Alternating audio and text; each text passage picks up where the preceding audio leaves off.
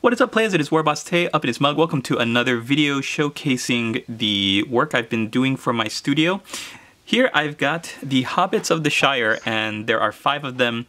You might remember Frodo and Sam here in the front. I painted them up and showcased them a little while ago. Only difference is uh, they, they're joined by some other hobbits. So let's take a look at the ones that I've added.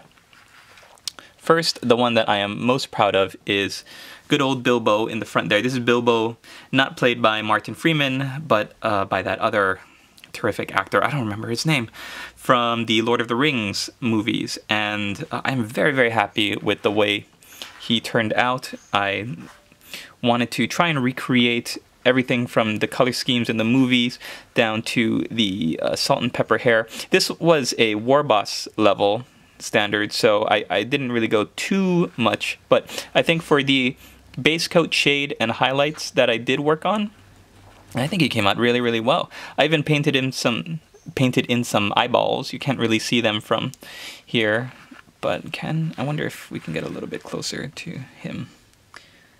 Wow, that looks really good. So yeah, I've I've completely turned the corner on my uh, I guess opinion on Games Workshop's Lord of the Rings characters. I think just the the amount of detail, the realism.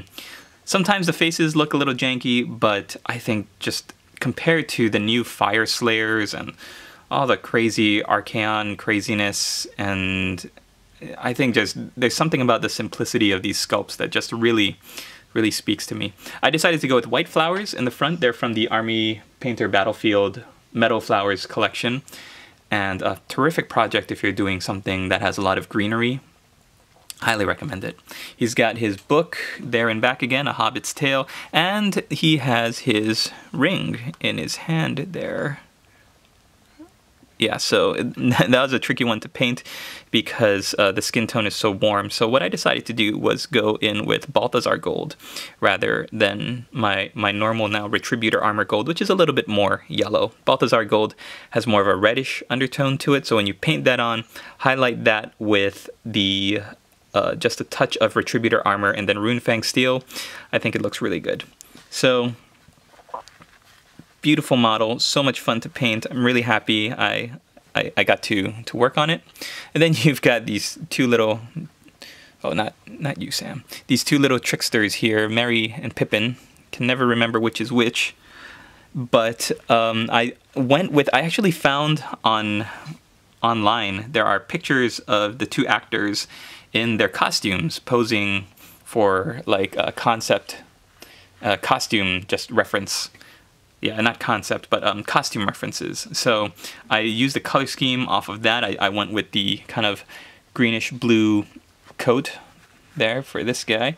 And uh, the yellow vest I actually achieved by Ungor Flesh, which is a surprisingly good like uh, substitute for Iyanden Darksun. It's just really thin, but um, it's a nice yellow, yellow brown. It's very, very cold. It's not uh, bright yellow like Averland Sunset or definitely not as bright as Yriel yellow or Flash Gitz yellow. So if you're looking for a, a nice muted yellow, Ungor Flesh, give it a try. I did gravel for the base, some little rocks added in there, and then uh, Gale Force 9s, their green, I think it's Meadow Flock, is what creates some of these smaller flowers, and then for the bigger like the yellow and the white flowers, like I said, I used Army Painter's Battlefield. So they look really, really great. I think when you put them next to Sam and Frodo here, they look really, really spot on. Very, very glad I got to work on this. If you would like to commission me for a project, please feel free. warbossTaestudios at gmail.com or uh, you can just contact me through here or on Facebook or on Twitter at warbossTae. Thanks for watching.